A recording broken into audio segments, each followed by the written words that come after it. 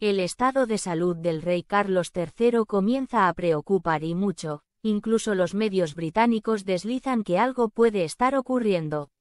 La información que tengo desde hace meses es preocupante, a la vez que desde Reino Unido se confirma la visita del rey Carlos III a Australia, otras voces comienzan a señalar que la situación podría no ser tan espléndida.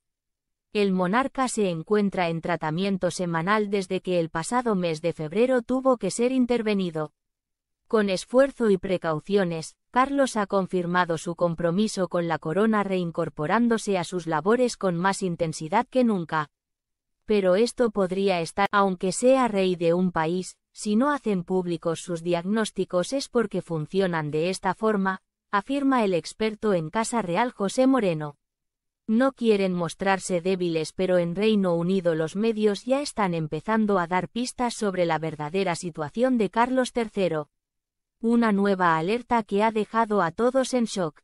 La situación de Carlos III estaría poniendo ya en marcha una nueva sucesión en el trono cuando la sombra de Isabel II todavía está muy presente.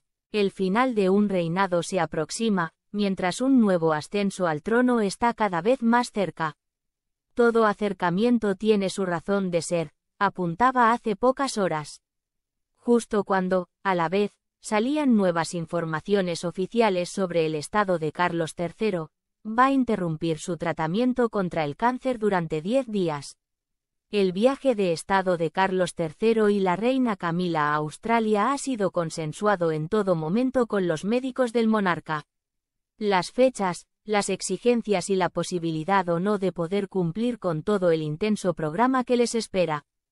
Parece que los médicos han dado el visto bueno para que Carlos III sea ausente durante casi dos semanas de